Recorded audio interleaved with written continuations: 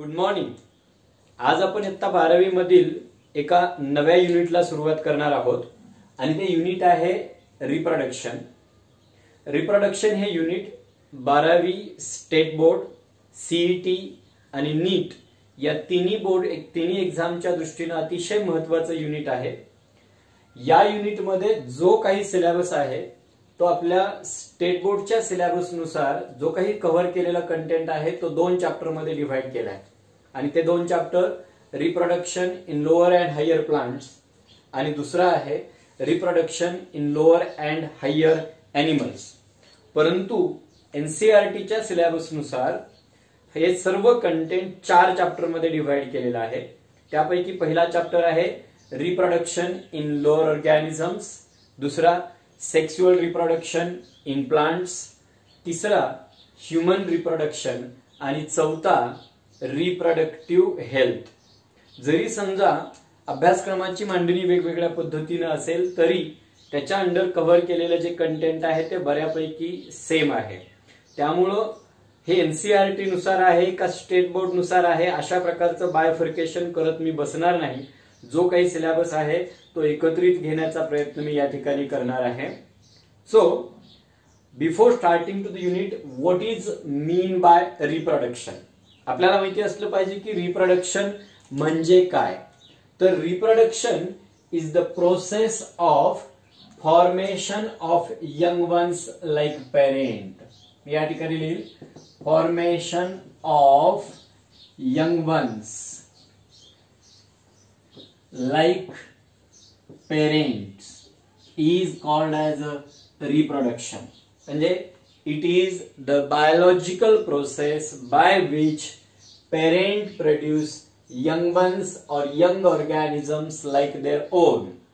याचा अर्थ असा की ज्या वेळेला एखादा सजीव स्वतः सारखाच दुसरा सजीव तयार करतो हा दुसरा सजीव तयार करण्याची जी प्रोसेस आहे that process is called as a reproduction याला आपण रिप्रोडक्शन असं म्हणतो. या रिप्रोडक्शनची गरज काय आहे? What is the need of reproduction रिप्रोडक्शनची गरज समजून घेण्या अगोदर आपल्याला आणखीन एक मुद्दा समजून घेतला पाहिजे. तो असा की प्रत्येक लिव्हिंग ऑर्गॅनिझमच्या लाईफ सायकलमध्ये काही स्टेजेस येतात. त्या स्टेजेस कोणकोणत्या आहेत? त्यापैकी पहिली स्टेज आहे.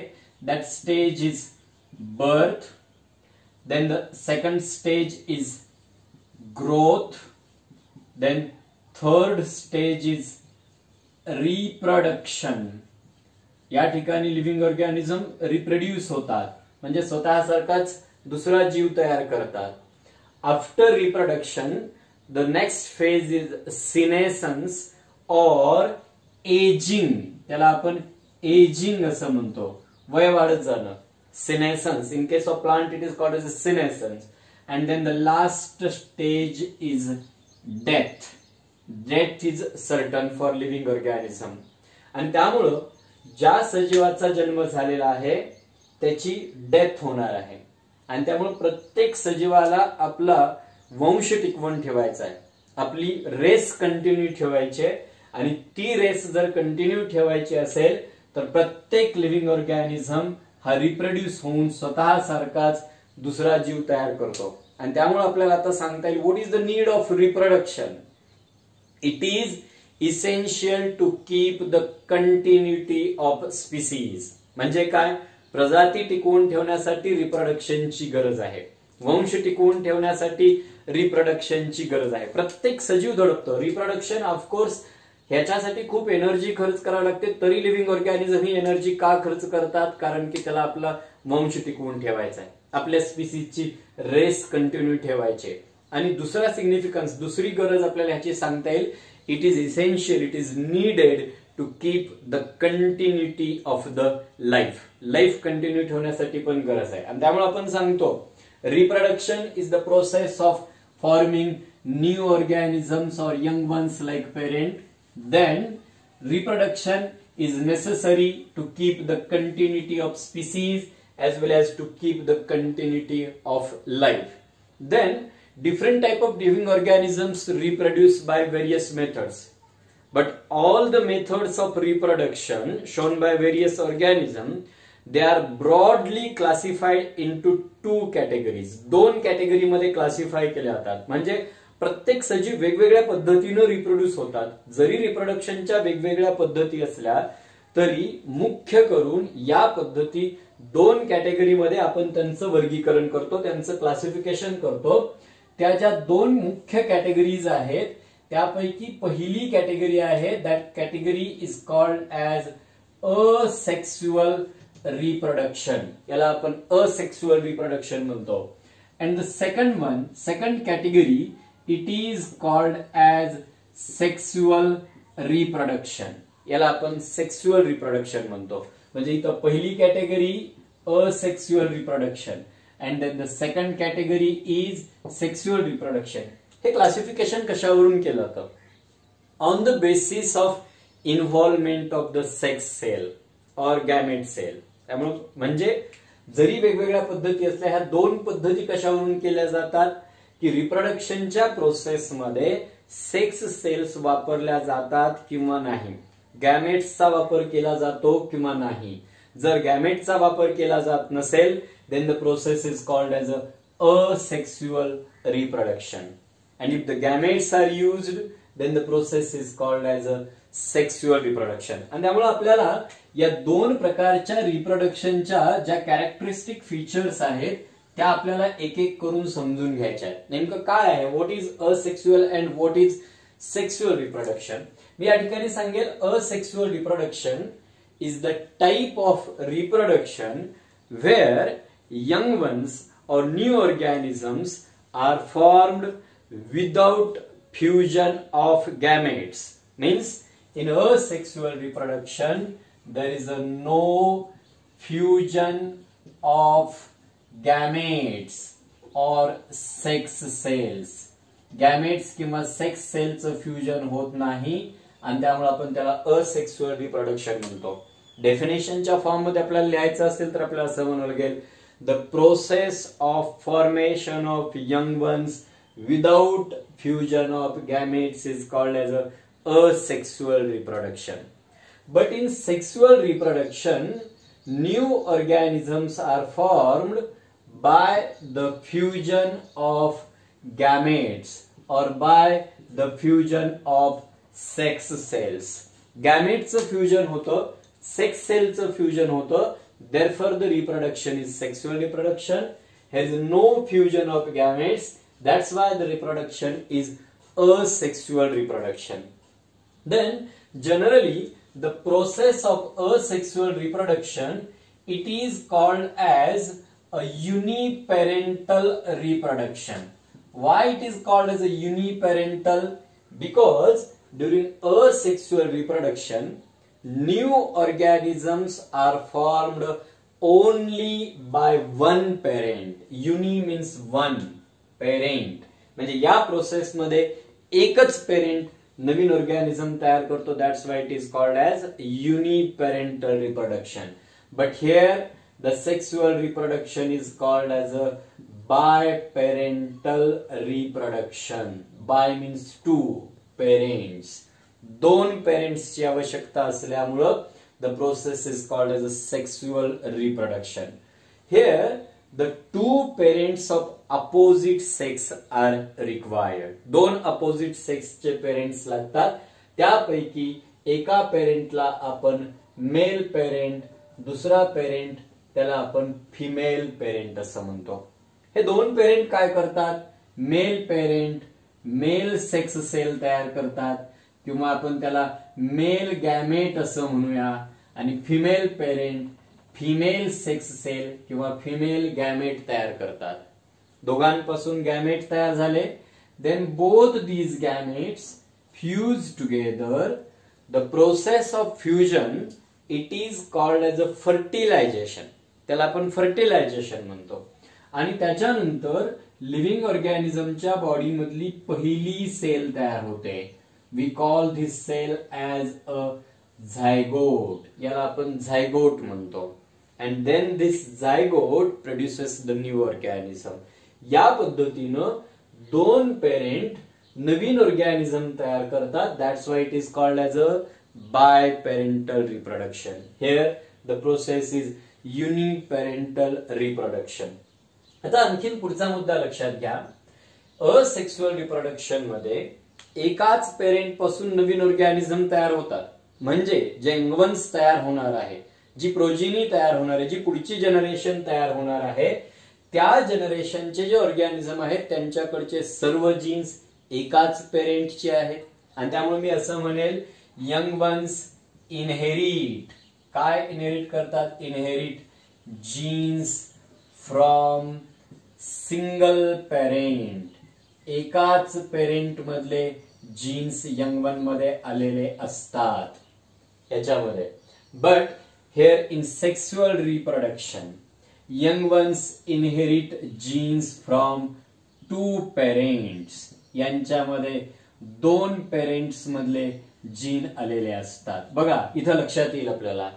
याच्यामध्ये फिफ्टी पर्सेंट जीन मेल पेरेंटचे फिफ्टी पर्सेंट जीन्स फिमेल पेरेंटचे आता या ठिकाणी काय होतं? As the young ones inherit genes from only one parent the young ones are किंवा द प्रोजिनी इज मी या ठिकाणी लिहिली progeny next generation young one जे तयार होणार आहेत they are genetically identical to their parent म्हणजे ते पेरेंटला जेनेटिकली आयडेंटिकल असतात का?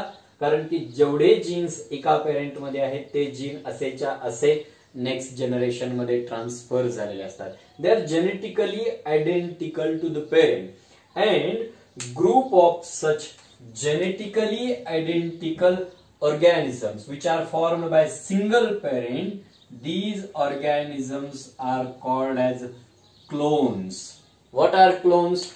Clones are morphologically and genetically similar organism आता इथं पेरेंटपासून जेनेटिकली सिमिलर प्रोजिनी तयार होते आणि त्यामुळे आपण त्यांना काय म्हणतो? क्लोन्स थोडक्यात मी म्हणेल asexual reproduction produces clones but in sexual reproduction the progeny is not genetically identical to parent मी या ठिकाणी असं लिहिल the progeny is genetically not identical to parent.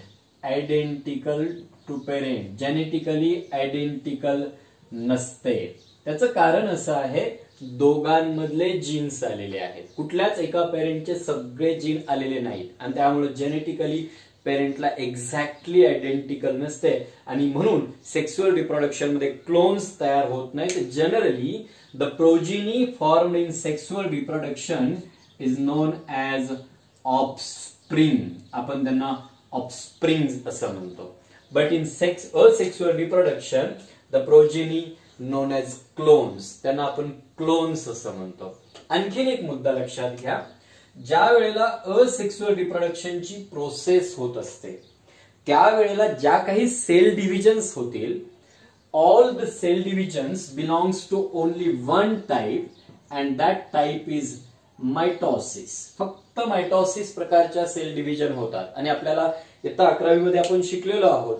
In mitosis the daughter cells are identical to parent cell as far as genetic material is concerned. But in the process of sexual reproduction two types of cell divisions occurs दोन्ही प्रकारच्या cell division होतात आणि ते दोन प्रकार कुठले कुठले आहेत त्यापैकी एक प्रकार आहे मिओसिस आणि दुसरा प्रकार आहे that is called as mitosis आता कधी मिओसिस होते generally when parent produce gametes at that time there is meiotic division meiosis होते आणि after fertilization during development of the multi cellular organism this type of cell division occur कुठल्या?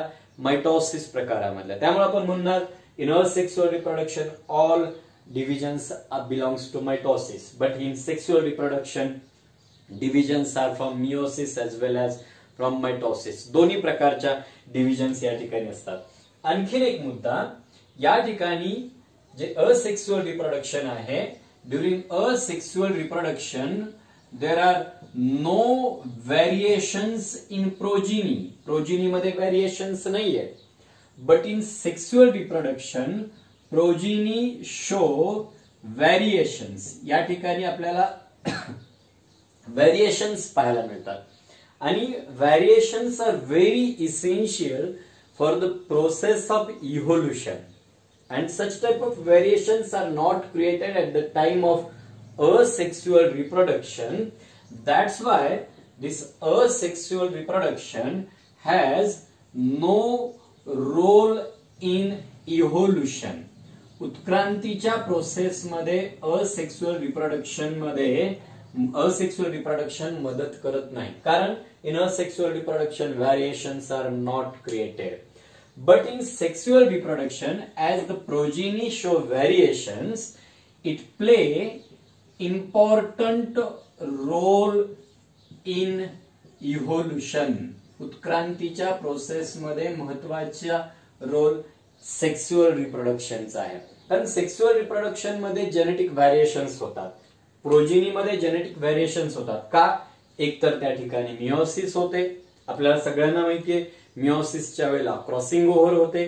त्याच्यात genetic मटेरियलमध्ये changes होतात. आणि दुसरा मुद्दा progeny inherit fifty fifty percent genes from both the parent and that's why variations are there and these variations play important role in the evolution उत्क्रांतीमध्ये महत्त्वाचा role हे play करतात. आणखीन एक मुद्दा आपल्याला सांगता येईल.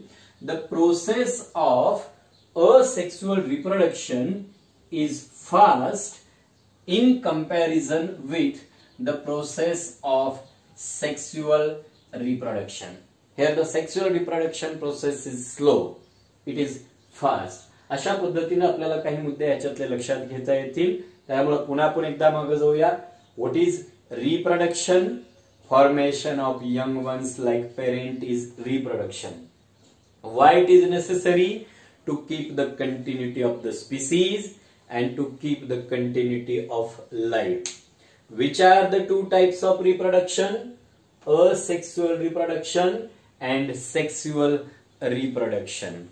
Then what are the characteristics features or what are the differences between these two types? In asexual reproduction, young ones are formed without fusion of gametes. Here, young ones are formed by the fusion of gametes. Asexual reproduction, uniparental. Here it is biparental. Progeny inherit genes from single parent. Here genes from two parents.